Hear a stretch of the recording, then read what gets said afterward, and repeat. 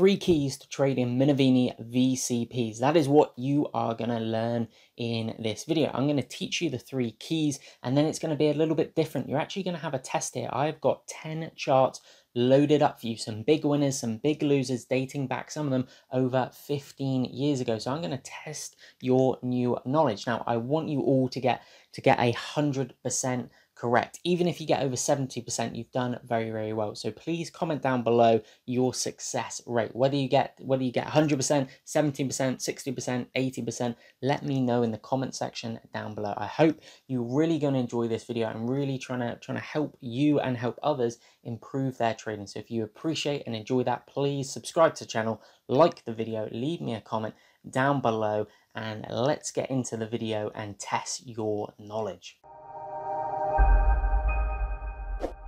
So as I was saying there in the intro, I'm going to teach you three keys when you're trading Minervini VCPs, which rolls off the tongue very, very well. And remember, there's then going to be a quiz. So I'm going to show you 10 charts, okay, winners and losers, and I want you to play along and see if you can get a 100% win rate on them. If you can get them all correct, if you can get 70% or 80%, that is very, very good going indeed. So what are the three keys when you are trading Minervini VCPs? So the first thing is volatility and volume must be contracting from left to right, okay? Volatility and volume okay diminishing falling as it moves from left to right. And i'm going to take you through an example in a minute which visually is hopefully going to really help you when you're analyzing these charts. Remember you're trying to tell yourself a story between supply and demand and if there is accumulation the next thing is, is there what I call bullish synchronicity on the breakout? That is where you get a very large price spread, so the candlestick or the bar is very wide on a relative basis, and there is big volume, big relative volume coming through. Never trust the breakout without big volume. And the third thing, which is gonna is gonna help you trade from the strongest stocks, is the relative strength should be making a 52 week high. Now on TradingView, I have a free relative strength line indicator which you can use. Just simply search for my name on the TradingView indicators and you will find it. Those are the three things which you really need to focus on. So I'm to show you 10 charts in a minute, winners and losers. See if you can get them all right for whether they were a big winner or whether they were a big loser. And you can see down here, I have got this this visual pattern of waves and a, and a wet towel and a smaller wave. What on earth does that mean? I call a volatility contraction pattern also a Wyckoff wave pattern because I see the price structure as waves. Now, as these waves are developing from left to right, we want to start see, seeing those waves getting smaller. So if you think of a really large storm, there's going to be bigger waves, okay? But as as the waves come in, if they're coming into shore and it's a very calm day, the waves are generally going to be much smaller. So as we're progressing here in our price structures from left to right, we should start seeing these waves go from being really big to much, much smaller. If you think about a if you think about a towel being very, very wet and we were to wring it out, okay, every time you wring the towel out, more water is going to come out. Okay, so there's less water on a subsequent wring of the towel. Think of that as supply being absorbed, supply coming out, selling pressure lessening. So on every wring, every wave that comes that should be getting smaller, there's less and less supply, and that that is why many of these stocks, if they they if they display the proper volatility contraction pattern characteristics, as I've just as I've just explained there as well, they can make explosive explosive moves as they break out through the pivot point. So what I want to do now is I want to load up 10 of our charts and I'm going to ask you whether you think it was a big winner or loser. So keep keep an eye, keep a track of your of your winning percentage, how many you are right, how many you are wrong. Post down in the comment section below how many you get right out of 10. So let's jump on to TradingView and let me show you these 10 charts. So chart number one is Cirrus Logic back in 2010. So I'm going to be showing you charts from 10 years ago, 20 years ago, okay, a year ago, a couple of months ago as well, just show they work across all time frames. So this is the first one. what are you thinking? Was this a big winner or a big loser? Remember, you can pause the video and do your analysis as well. So I'll give you a couple seconds. What do you think? Big winner or a big loser? So I'm going to scroll it through now so you can see whether it was a big winner or a big loser. And you can see this stock here was a very, very big winner, doubling pretty much in the space of a couple of months from $8 a share to $16 a share. Now, I wanted to start off with a little bit of an easier one here, okay? So you can see, and I w I won't go into detailed analysis for all of these, but you can see here, here's wave number one, okay, wave number two, wave number three, and then it's getting very, very tight in here on wave number number four in here. And then do we have, so do we have price volatility and volume, okay, diminishing, okay, the, the, the, the contraction in both? Yes, we do as we move from left to right. Okay, what I really like about this stock is look how tight everything gets under the pivot point. This is a great indication that supply has stopped coming to the market. Remember that wet towel being wrung out. You can see as well if I come back a few bars so we get rid of this really large volume bar. Okay, the day prior to a breakout, here, here's a little bonus tip for you. The day prior to a breakout, you want to identify a candlestick that is extremely tight, just like this one, and the volume is below the 30 day average. And the reason being is this is the market screaming at you. Okay, it's absolutely screaming at you. There is no more supply. Okay, we've been wringing and wringing that towel no more water is coming out, no more supply is coming out. So then when we break out through that pivot point, okay, the scales of supply and demand just do this. Demand, there's loads and loads of weight coming to the demand side and the stock just powers up out of the gate and explodes out. So hopefully you're able to, to be to be successful with saying that one was going to be a big winner. So let's go on to stock number two. So stock number two, we have Smith and Wesson brand. So what are you thinking here? Big winner, big loser. What are we seeing here? What do you think is going to happen? So pause the video if you want before I reveal the answer. So let me scan this forward a little bit and you can see here the stock was a big loser. Now there's a few key characteristics and I'm going to give you some bonus points as we're progressing through this video this is another thing you really want to identify, okay, in terms of avoiding. You see how this stock here runs up into the breakout. There's no consolidation. If I just draw a box here in that upper third, okay, which I'm drawing here, in that upper third of the base, even the upper half of the base, there's no consolidation. There's no ability to absorb these previous trap buyers. Do you see that? So when the breakout comes here, it gets absolutely smashed by loads and loads of supply. So even though there's really good volume coming through. The breakout candlestick is good. It's running up into the breakout. Now, this is why, do you remember earlier I told you relative strength making a 52 week high, or at least matching previous 52 week highs? One of the things you want to do if you want to trade the best breakouts is you see how this relative strength is actually in the context of a of a downtrend as as well. It's not making a 52 week high. I don't like trading those. I like to see a blue dot on my relative strength line. So hopefully you are two for two and you correctly said that was going to be a loser. So let's go on to our next one. So here we have chart number three, which is Church and Dwight. So what are you thinking here? Big winner or a big loser? You ready? I'm about to about to show you. So remember, pause the video if you don't want to know quite yet. So let's play this forward a little bit and you can see this stock here, keep playing it forward, was a big loser. Okay, now this is why I'm trying to drum into you those key, key points that you need to be identifying. Look at the relative strength here. Is that making a higher high or is that making a lower high?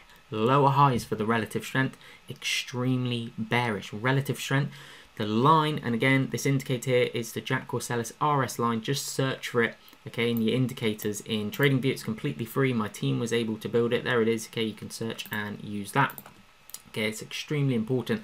That is at least matching okay the previous highs if not moving into new high ground. And we have a nice blue dot as you may see on some of the other ones. So hopefully you're doing really well and you are three four three. Remember comment leave a comment down below how well you do. I'll be really interested to see if you can get if you can get eight if you can get eight out of ten or nine out of ten or even some of you may get 10 out of 10 so let's go on to the next one So here is our next chart. This is CRSP is the ticker and this was from last year in November 2020. So what are you thinking here? You thinking this is going to be a big winner or a big loser? Well, let's take a look. Remember, pause the video if you don't want to see it quite yet. So let's play this forward and you can see this stock here, very, very big winner, doubling in price in the space of a couple of months. Now, what are some of those key characteristics we were looking for? Okay, this is stock number four, remember. So look at this here. Do you see how tight everything becomes? How we consolidate right underneath that pivot point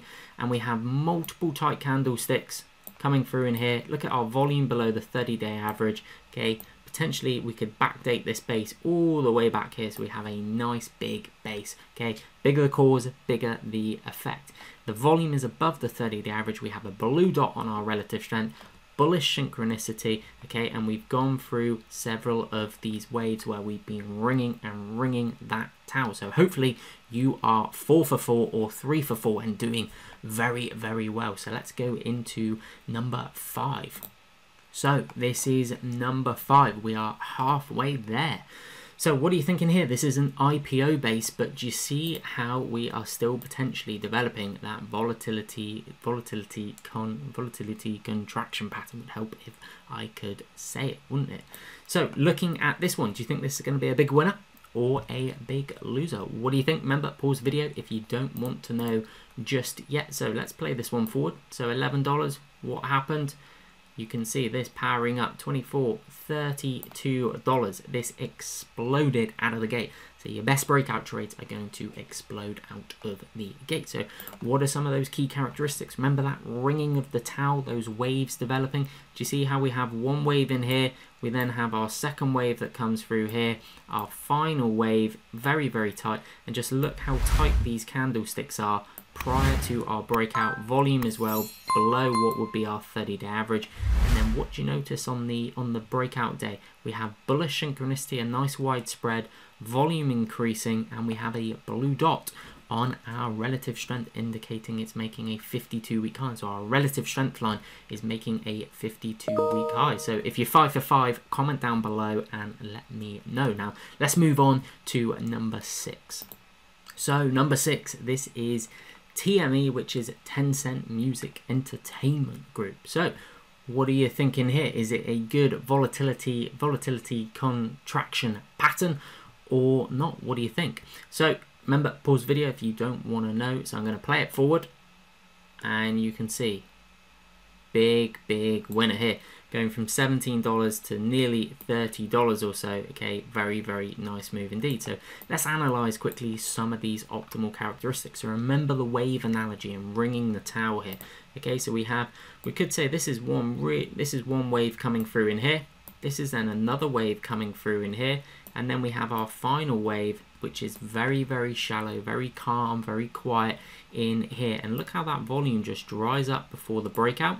And look at our multiple tight candlesticks in here. Now the final wave should be in single digits, okay, single figures, less than, than 9%. And the tighter the better because it makes it much easier for us as traders to be able to control the risk. And this in here has built a really nice big cause. So remember, bigger the cause, bigger the effect. Multiple tight candlesticks is something that you want to look to identify in the base in conjunction with volume very low and below the 30 day average. That just tells us there's not much supply coming to the market. So hopefully you are six for six as we move on to stock number seven.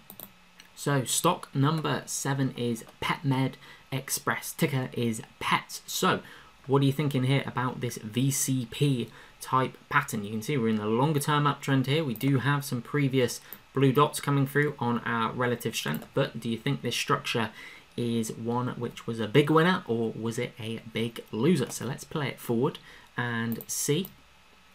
So remember, this is number seven. So see if you're seven for seven. This was obviously a big winner and it got absolutely smashed right after the breakout. Now there's a few key characteristics that I'm going to tell you in here. Okay, leading up, I just want to go forward to get rid of this big volume bar and you can see it a little bit more clearly.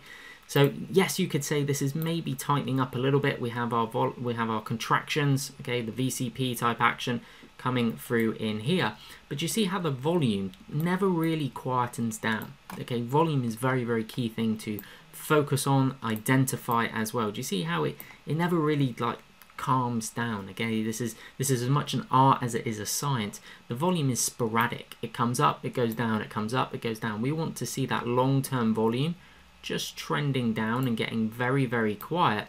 Okay, prior to a breakout where we then have a big increase in volume on our breakout. So you can see this one obviously here failed very, very quickly and in a hurry. So let's go on to stock number eight. Hopefully you're seven for seven. Let me know down in the comment section below. And if you're enjoying this, this video and you'd like to see more of these kind of videos, please do like it, subscribe to the channel as well. So let's move on to number eight. So our next one is Google, and we have gone back to 2004, just after its IPO date. So again, you can see how you can do this on stocks that are from 20 odd years ago nearly now. The likes of google obviously very very well known lesser known when this base was forming. But do you think this base is displaying those optimal characteristics that are going to make it a big winner or a big loser? So what do you think for this base i'm going to play it forward and then we'll do a little bit of analysis on it as well. So this is google here and google obviously was a huge winner, built a really nice base, an optimal entry point using the VCP characteristics. So what I want to do here, just with Google, is just identify, here's wave number one, wave number two. It's almost a cup with handle type pattern as well. Remember, the VCP are characteristics, okay, in terms of the things you want to be looking for for the price and volume characteristics, okay, and the and, and, and the contraction in price. So we can see here we have bullish synchronicity. Okay, on our breakout, we had a pop up in volume. We're probably double our prior day, which is nice and tight. Note these nice tight multiple candlesticks. We have a blue dot coming through on our relative strength as well. And remember the analogy of that towel being rung. Less and less supply coming out, especially in this region in here prior to our breakout. Obviously, Google got out the gate really, really well. Your best breakout trades are going to explode out of the gate. So that was number eight. Hopefully you are eight for eight or seven for eight. You're doing very, very well. Remember, comment down below, let me know. And let's move on to number nine. So here you go. This is number nine, which is Lumber Liquidators LL is the ticker. We are back in 2012 for this one. So here's the here's the longer term time frame here's the here's the base that you are you are analyzing. What do you think? Winner or loser? So pause the video if you don't want to know quite yet. And I'm going to play this one forward and you can see Lumber Liquidators was a huge winner, nearly doubling in price from $30 to 50 $55, $56 in the space of a couple of months. So let's go back and just analyze this structure a, a little bit more. There's a few, few, there's a few key points here which I want to explain to you. So we can see, look how this waves, okay, our waves in this final wave in here, okay, Remember that towel being rung, the waves are getting much, much shallower, less supply, less water okay, coming to the market. Okay, think about that towel being rung and the waves going from big to much, much smaller. Do we have bullish synchronicity on our breakout? Well, we have 30 day average volume. The open is actually the lower this candlestick for the breakout in here. Okay, so it, it, it's okay. It could be could be better. We could have larger volume coming through. We do have a blue dot on our relative strength line, which is obviously great. Now, there's very high volume you may have seen the day before. But what is the result of that high volume? This is where we can start looking very deep into the volume and going, okay, there's very high volume, but yet the price spread is very, very thin. So do we think this is distributional characteristics or accumulation characteristics? Now, the structural context of where this is happening, how the structure is playing out, is very, very important but because it's very large volume here, it's very, very tight, it's within the final kind of contraction, the final wave of this pattern, then it breaks out. This is actually accumulation by the institution. So hopefully you are doing very, very well at guessing whether it is a big winner or a big loser. You're applying the techniques that I've taught you in this video and other videos. So let's move on to our final one and see if any of you can get 10 for 10. Remember, if you do get 10 for 10, or you even do very, very well, or you do poorly, let me know down in the comment section below. So here is your final one. Okay, see if you can get 10 out of 10, 8 out of 10, anything above 7 out of 10 I think is very, very good indeed. So we are back in 2006 here for Crocs. So pause the video if you don't want to know the if it's going to be a big winner or a big loser yet because I'm about to roll it forward. So here we go for Crocs and you can see this was a very, very big winner indeed. This stock went on an absolute stellar run. Now, I tried to trick you a little bit on this last one because we didn't have a blue dot on our relative strength on the breakout. But this is what I want you to take away as well. The slope of the relative strength line is very, very important to focus on. That slope of the relative strength line should be in a very consistent uptrend as it moves into the breakout. So you can see that we have bullish synchronicity on our breakout. Look at the volume. It's probably two and a half times our 30-day average, if not three times. We have bullish synchronicity in terms of the widespread on that breakout as well. And if we look for those VCP characteristics, and remember the wave analogy and the towel analogy, there's one, there's two, there's three, and then look how tight it gets in this final contraction Okay, this final wave, this final wringing at the towel, whatever visually works very, very well for you. Remember, we're trying to tell ourselves the story here. So you can see how in this final part, right underneath the pivot point, do you see how everything just tightens up in here? Look how this volume is generally below our 30-day average, especially on the three days prior. Let me just pull this down especially on the three days prior. This is absolutely fantastic. This is the market's way of screaming at us no supply coming to the market, okay? And then on the breakout day itself, which was the 25th of September 2006, over 15 years ago, about 15 years ago, it was a long time ago, okay? There's just no more supply coming, and then the scales have done this. The scales have tilted,